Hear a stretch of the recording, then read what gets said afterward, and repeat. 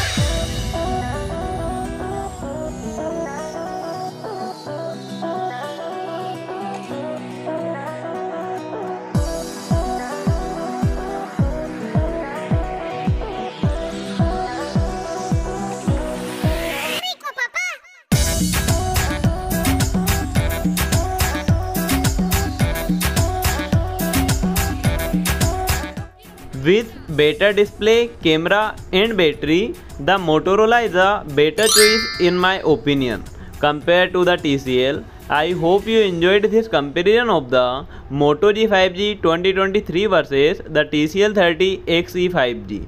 If you like the video, give it a thumbs up, sub to the channel.